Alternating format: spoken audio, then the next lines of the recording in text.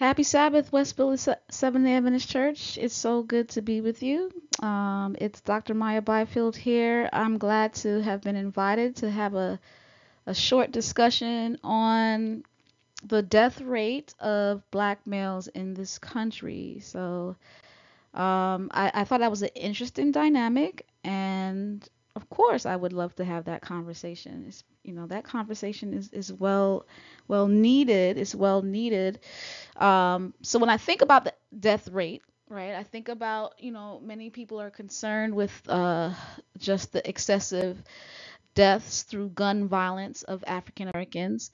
Um, here's some information from the Center of Disease Control. This is the governing body that really documents all of the deaths that occur in the United States of America. And as you can see here, the U.S. gun deaths by race and gender among 20 to 29 year olds, as measured per 100,000 people, look at the disparity of gun deaths towards black men, the percentage of black men that are getting um, murdered uh, through gun violence is is is is very disparate and concerning. Look at it compared to black women, compared to white men, compared to white women. Of course, there are more Caucasians in the country, so their limited gun deaths uh, as compared to their total population, it's going to be a drastic decrease compared to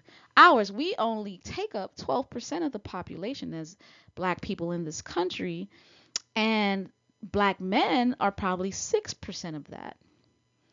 So to see their their their death at the hand of hands of guns, and this is 10 years ago, um, recently in 2020, U.S. gun deaths have shown to increase 35% since since 2020, and that percentage is higher among Black people. So there is a it's very concerning that our people are dying by the hands of guns. Yeah, yeah. But of course, we don't necessarily uh, purchase the. I mean, excuse me, we don't um, make the guns, right? We don't make them, but somehow these guns are being purchased by us, uh, being funneled to our communities, right? And so not only once we addressed our personal responsibility in not purchasing guns and not allowing ourselves to kill each other, we also have to ask ourselves who is funneling these guns to our community. Um, number two, in spite of those deaths being so drastic in those age ranges, truthfully, gun deaths aren't the major killers of black men. The leading causes of death amongst males that are non Hispanic and black since the last time we recorded, this is 2018,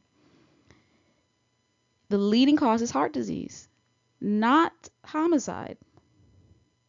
Mm-hmm. Heart disease. 24% heart disease. A, sh- a, a short second is cancer.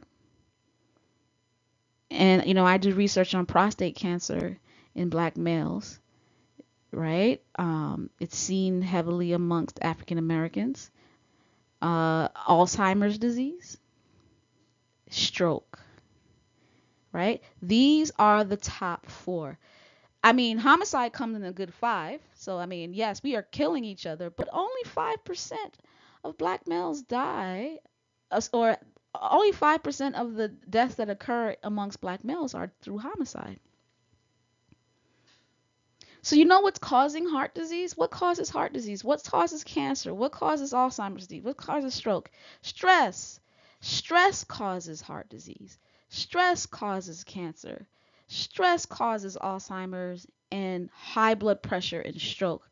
What we need to do is really find out what is causing our stress.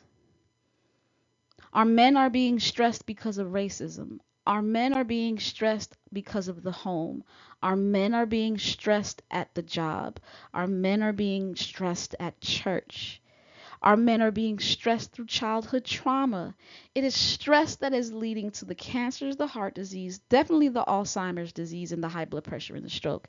And so we have to ask ourselves as a people, as a nation, we need to stop stressing each other.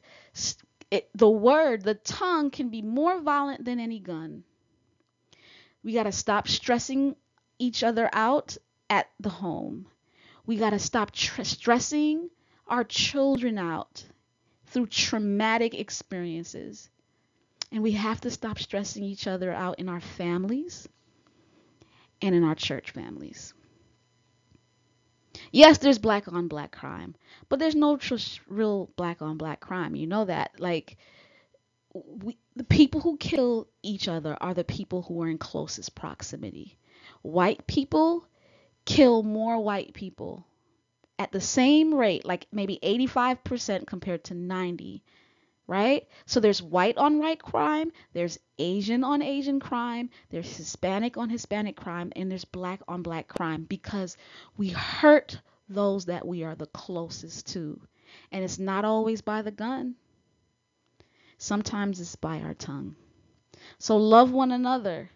Stop stressing each other out, church family, family, friends, home. Take a chill pill. Good to see you guys. Happy Sabbath.